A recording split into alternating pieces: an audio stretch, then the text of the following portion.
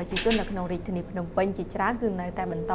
ដើរលេងកំសាន្តជាពិសេសគឺទៅលេងកំសាន្តនៅឧស្សាហមុខវត្តបទុមវតីបើទោះបីជាស្ថានភាពនយោបាយក្រោយការបោះឆ្នោតនៅកម្ពុជានឹងគឺមានសភាពតឹងតែងបន្តិចក៏ដោយ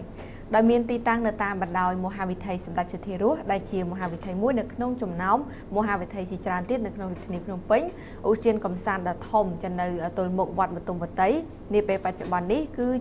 នៅតែជាទីតាំងដ៏សែនមនោរម្យមួយសម្រាប់តេទៀងទៅនឹងភ្ញៀវទេសចរជាតិនិងអន្តរជាតិឲ្យមកទស្សនានៅទីក្រុងបេះដូងកម្ពុជា គឺទីក្រុងភ្នំពេញ ជាពិសេសគឺជាទីលំហែកាយដ៏មានប្រជាប្រិយភាពសម្រាប់ប្រជាជនជាច្រើននៅក្នុងរាជធានីភ្នំពេញនោះហើយបន្ទាប់ពីត្រូវបានរៀបចំឡើងវិញដោយប្រើរយៈពេល1ឆ្នាំឲ្យរួចរាល់ជាស្ថាពរនៅឆ្នាំ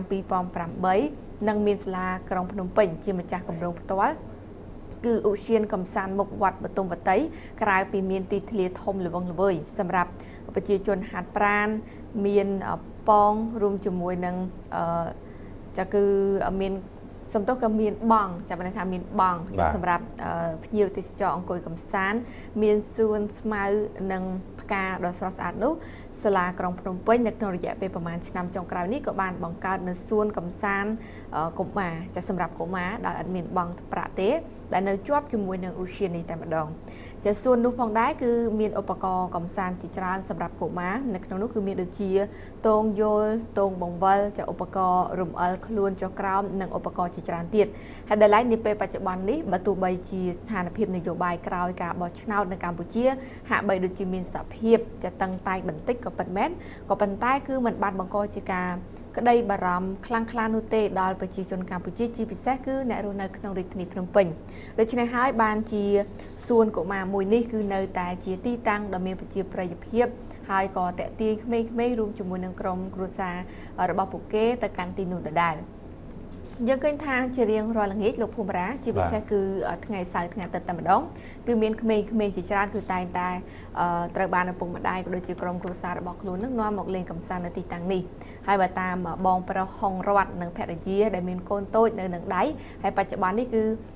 មានទីលំនៅនៅក្នុងរាជធានីភ្នំពេញគាត់បានប្រាប់មកទូរទស្សន៍បាយ័នខណៈពេលដែលពួកគាត់កំពុងតែនាំកូនកូនរបស់គាត់មកលេងនៅសួនកំសាន្តនេះដែលបានបញ្ជាក់ថាបើទោះបីជាគាត់រវល់យ៉ាងណាយ៉ាងហោចណាស់ក៏ជារៀងរាល់2សប្តាហ៍ម្ដងគាត់តែងតែនាំកូនរបស់គាត់មកលេងទីនេះពីព្រោះថាវាគឺជាកន្លែងសមរម្យនិងមានសុវត្ថិភាពសម្រាប់កូនកូនរបស់ពួកគាត់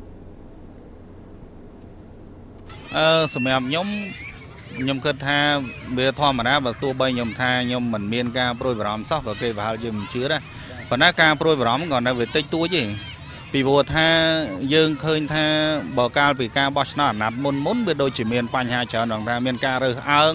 ពាក់ព័ន្ធជាមួយនឹងអ្នកបោះឆ្នោតគណៈបកនេះគណៈបកនោះប៉ុន្តែអាណត្តិនេះហាក់ដូចជាមិនសូវជាមានការរើសអើងសូម្បីតែអ្នកចិត្តខាងឬមួយក៏អីក៏ដោយទោះបីជាគាត់បោះឆ្នោតនៅក្នុងគណៈបកណាប៉ុន្តែការនិយាយស្ដីដូចជាធម្មតា ចឹងខ្ញុំគិតថា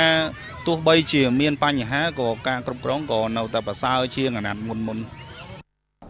ឆ្លៀតនៅក្នុងឱកាសនោះបងប្រុសនិងភរិយាក៏បានបង្ហើបប្រាប់ទូរទស្សន៍បាយ័នផងដែរពីផលប៉ះពាល់និងក្តីបារម្ភរបស់ខ្លួនជុំវិញគម្រោងបង្កើតឲ្យមានមហាបាតកម្មរបស់គណៈបកប្រឆាំងនោះចំពោះការបាតកម្មនឹងគឺ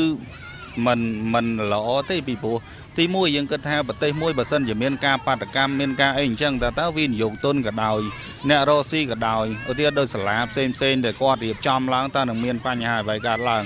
ដោយក្មេងៗទៅតែប្រឡងបាក់ដប់ជាប់ហើយតើឱកាសនៃការឡើងមករៀនមកគាត់នឹងមានបញ្ហាអី ចានេះគឺជាប្រសាសន៍របស់បងប្រដ្ឋហុងរតចាដែលបានជម្រាបជូនដល់ក្រុមការងាររបស់យើងពាក់ព័ន្ធទៅនឹងពីចំណាប់អារម្មណ៍របស់បងប្រុសរួមជាមួយនឹងពីការសម្ដែងនៅការផ្ទុះបារម្ភមួយចំនួន